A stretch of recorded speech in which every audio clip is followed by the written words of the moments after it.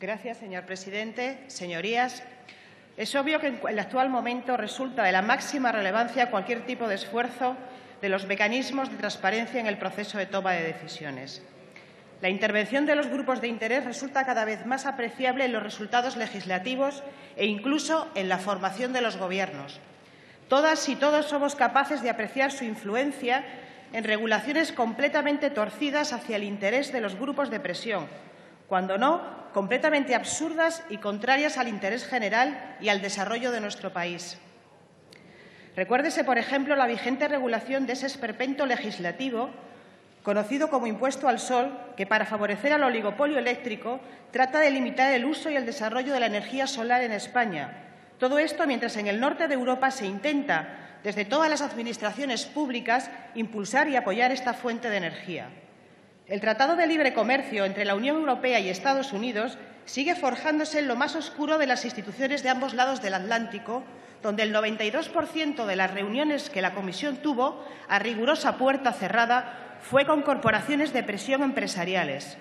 Podría ser que una regulación de los grupos de interés ayude a normalizar la presencia transparente de aquellos sectores legítimamente afectados por la acción legislativa, aunque también es verdad que, como sabemos, en España la influencia se ha venido llevando a cabo por procedimientos que podríamos denominar más directos. ¿Quién necesita lobbies cuando tiene puertas giratorias que garanticen que la política solo sea el paso intermedio para un retiro dorado en un consejo de administración? ¿Quién necesita lobbies cuando puede comprar una campaña de difamación en los juzgados? En España todo está demasiado relacionado.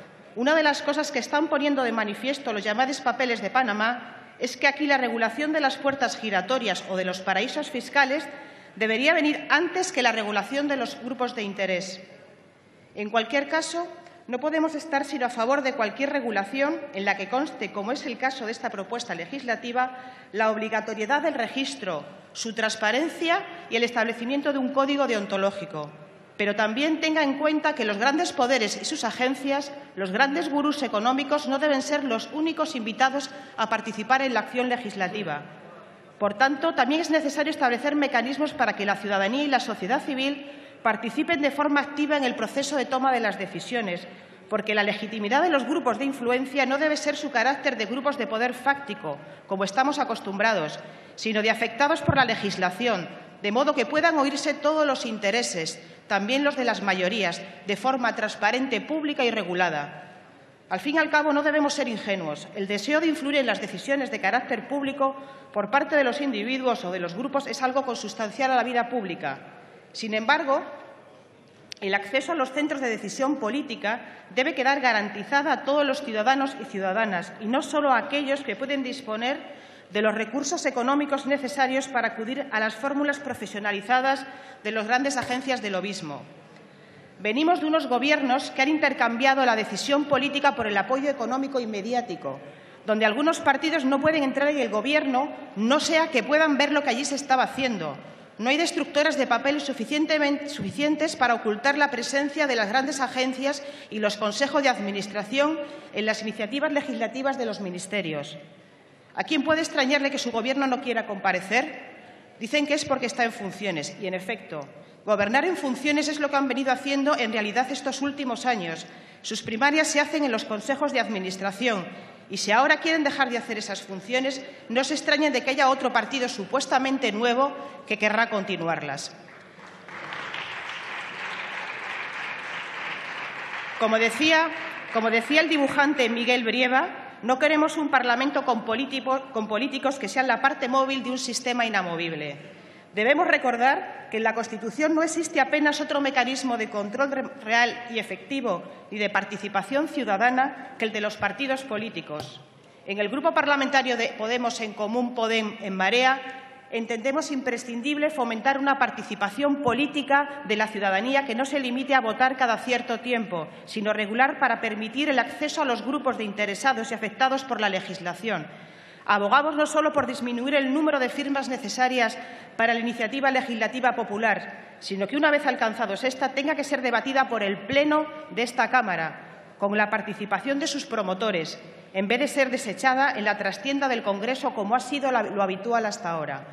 Es necesario elevar el debate de la participación de los lobbies en el Congreso como expresión democrática moderna al terreno que naturalmente lo absorbe, esto es, el de la participación ciudadana, tanto individual como colectiva en el actuar cotidiano del Estado.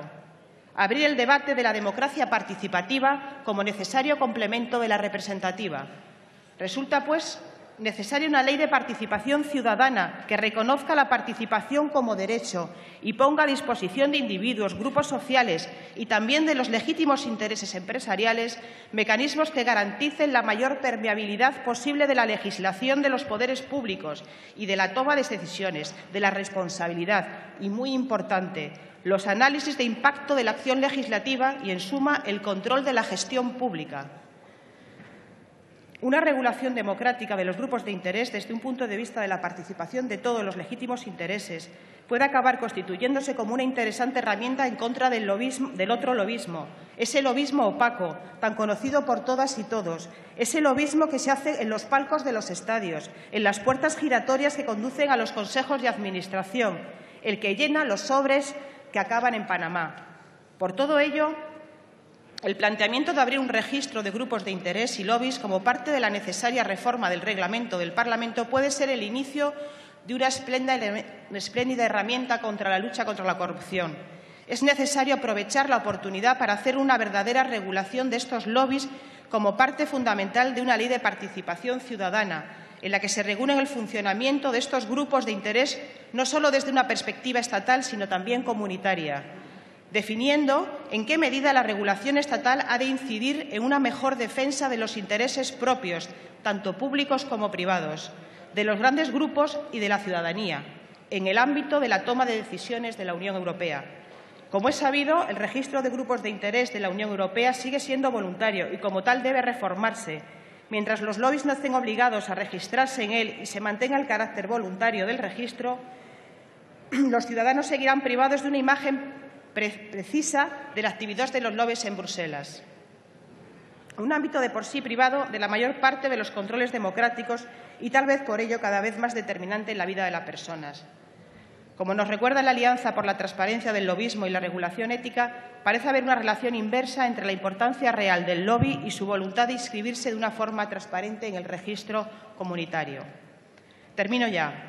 Hoy votamos a favor de la toma en consideración de la propuesta legislativa de reforma del reglamento del Congreso de los Diputados para la creación del registro de los grupos de interés o lobbies, con la vista puesta en su configuración efectiva como herramienta de transparencia.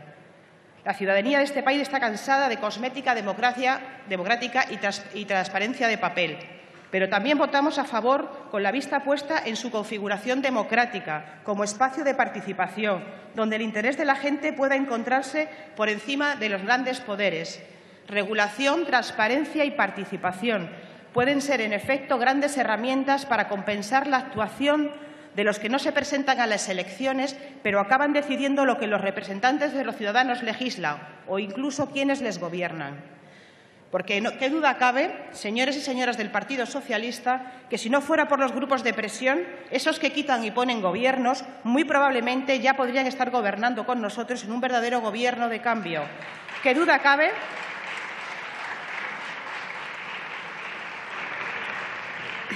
¿Qué duda cabe de que quien ha imposibilitado al señor Sánchez poder formar un auténtico gobierno de cambio, un gobierno que destierre las políticas del PP, han sido las presiones que sobre su partido se han ejercido, presiones a las que ustedes, por desgracia para la mayoría de los españoles, no han sido capaces de salir? Muchas gracias. Gracias, señora Lizo.